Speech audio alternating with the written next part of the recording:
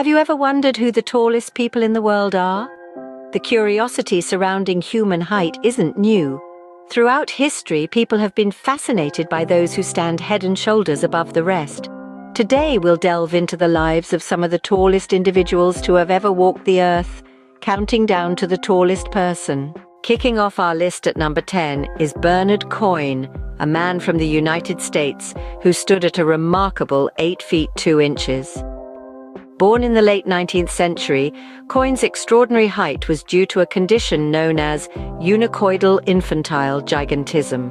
Moving forward at number 9, we have Väinö Myllyrinne from Finland, who measured 8 feet 3 inches.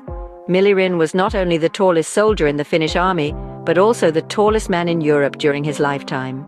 At number 8, we find Sultan Kösen from Turkey, who currently stands as the tallest living person. At 8 feet 2 and a half inches, Kösen holds the Guinness World Record for his extraordinary height. Number 7 introduces us to Edouard Beaupré from Canada, who stood at an impressive 8 feet 3 inches. Beaupré was known not only for his height but also for his strength, which he showcased as a circus strongman. Next, at number 6 we have a woman, Zeng Jinlian from China, the tallest woman ever recorded.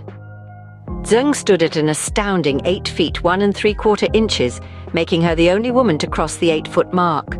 Coming in at number 5 is John Rogan from the United States, who measured 8 feet 9 inches. Despite his height, Rogan chose to walk with crutches rather than use a wheelchair, showcasing his indomitable spirit. At number 4, we have Leonid Stadnyk from Ukraine, Standing at 8 feet 5 inches, Stadnyk was once recognized as the world's tallest living person. Cracking the top three is John F. Carroll from the United States, a man who measured 8 feet 7 and a half inches. Carroll's height was a result of a condition known as acromegalic gigantism. Runner-up on our list is John William Will R. Wadlow from the United States. Measuring at an incredible 8 feet 11 inches, Wadlow is known as the Alton Giant, and held the record for the tallest man in the world for many years. And finally, at number one, we have Robert Wadlow, also from the United States.